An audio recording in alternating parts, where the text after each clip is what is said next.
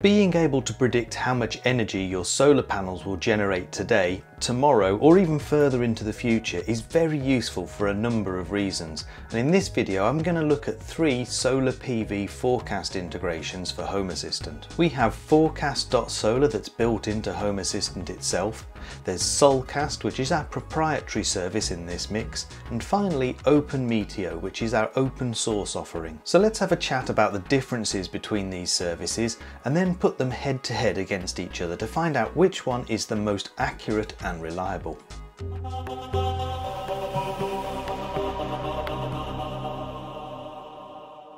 Let's start off with an explanation of a solar PV forecast, which tends to just get shortened to solar forecast in the world of home automation.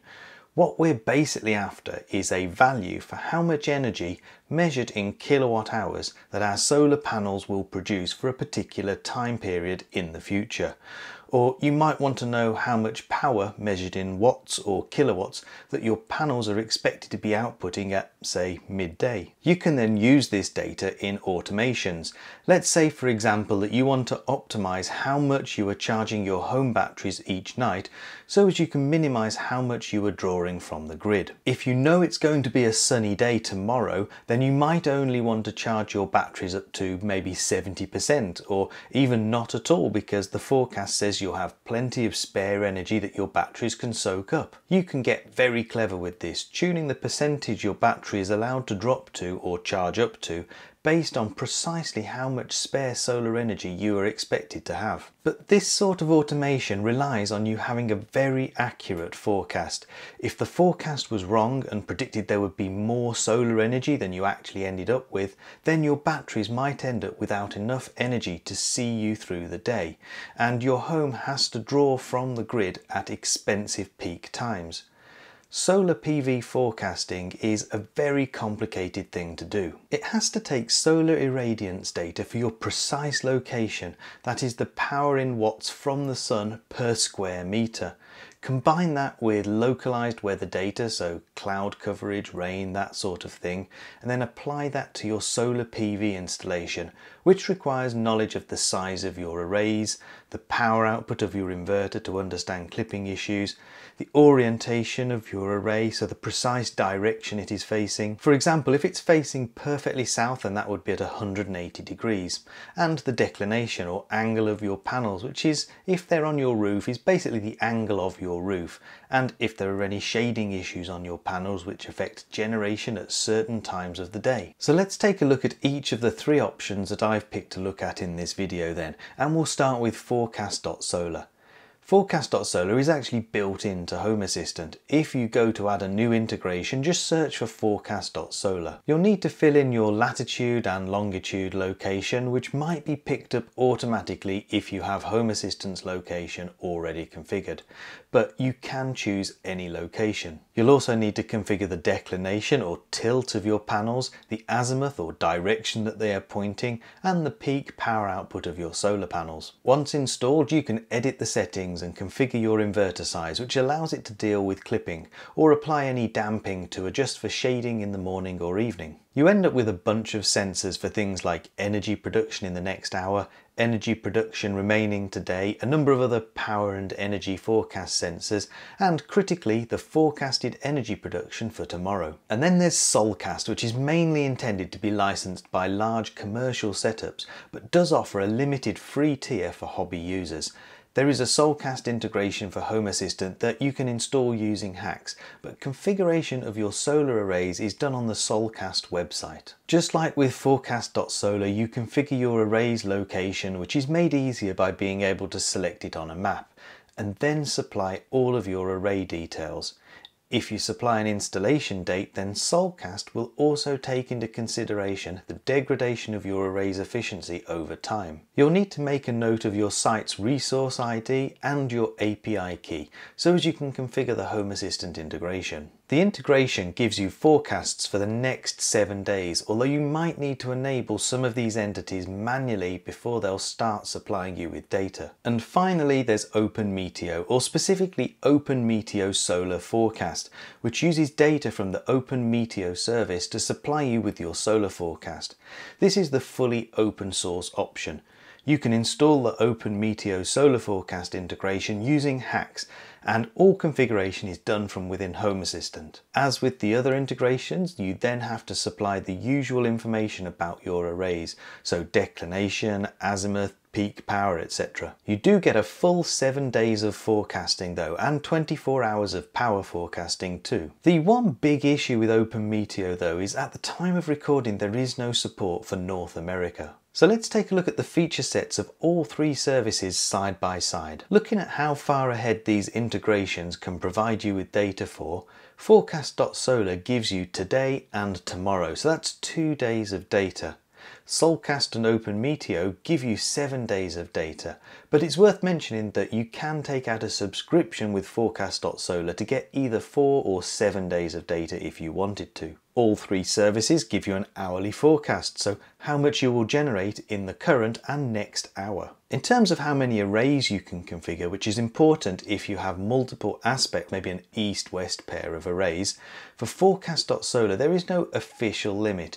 You can just create separate instances of the integration for each array or aspect. But there is a limit of 12 API calls per hour, so the more instances you create, the more likely you are to hit the limit. You can of course subscribe to get a higher limit of 60 calls per hour. Solcast is limited to two arrays within one kilometre of each other. This is to stop you using it for commercial purposes, but it does mean that if you have more than just an east-west array, then you are a bit stuck. OpenMeteo, as far as I can tell, has no limit. You just create multiple instances of the integration, one for each aspect when you create multiple instances of the integration, and this applies to all of these integrations, you'll get separate energy and power sensors for each instance.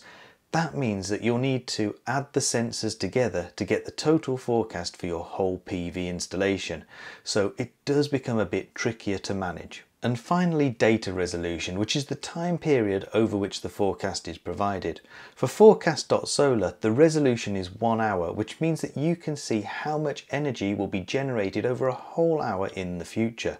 And that's the same for Solcast too, although Solcast also gives you forecasted power generation down to 5 minute averages. Open Meteo will give you forecasted energy generation for 15 minute periods and it's worth noting that forecast.solar can also provide this level of resolution under one of the subscription options of course. So those are your options. There might be others out there so if you have any other recommendations then please let me know down in the comments.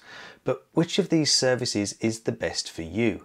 Well, I'm going to have to define best as being the most accurate the most often, and in order to assess that, I needed to keep a log of all of the different forecasts. To do that, I used an automation in Home Assistant to run every night and record the following day's forecasts in Google Sheets. I let this run for a couple of weeks, and during that time, I managed to capture a really good mixture of high and low forecasts. I then took that data and imported it into Excel, manually putting in the actual generation for each day so as we have something to compare against. For each day, I then compared each forecast against the actual generation that day to see how well it did. The closest forecast is awarded 3 points, the next closest 2 points and the least accurate gets 1 point. As you can see by this measurement we have Solcast in first place with 37 points, OpenMeteo in second place with 30 points and Forecast.Solar trailing in last place with only 23 points. Before you complain, I know that this isn't a very scientific way of figuring out which one is the best.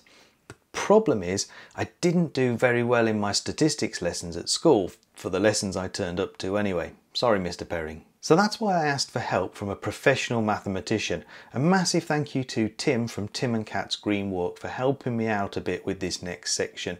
If you like spreadsheets and data all about solar and energy, then please go and check out his channel. There will be a link to it down in the description. Tim suggested to me that the best way to compare a series of forecasted data to the actual data is to calculate something called the RMS or root mean square. Let's take our spreadsheet again and make a bit of space.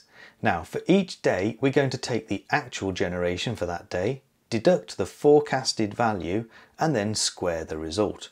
We'll repeat that for each of the forecast services and then repeat the whole lot again for every day in the table. Then for each of those new columns we take the mean average which you can see I'm displaying underneath the table. And finally we take the square root of those averages to come up with the RMS. Now the RMS can be described as a measurement of closeness for the forecast to the actual generation. So a typical error and the lower the RMS value is the closer the forecast was to the actual solar generation. You can see that Solcast has an RMS of 3.24, which means that typically the forecast only deviated from the real generation by 3.24 kilowatt hours each day. Solcast is statistically the most accurate forecast here according to this metric, Open Meteo comes in second place with an RMS of 6.65 and Forecast.Solar was the least accurate with an RMS of 10.89. So by two different assessment methods, Solcast is coming out on top. I kind of already knew that before I started this comparison. I used Solcast myself in Home Assistant over the other two because I found it to be more accurate, but it is useful to see the proof there in the numbers. Solcast is way closer on average than either of the other two. Anyway, I hope that you found this useful. Don't forget to check out Tim's channel using the link in the description. Please give this video a like and don't forget to subscribe for free to see more from me. A massive thank you to these people listed here for supporting my channel. If you'd like to support the channel by becoming a member or a patron, then check out the links down in the description. In return, you'll get early access to my videos and some bonus content too. Thank you for watching Goodbye.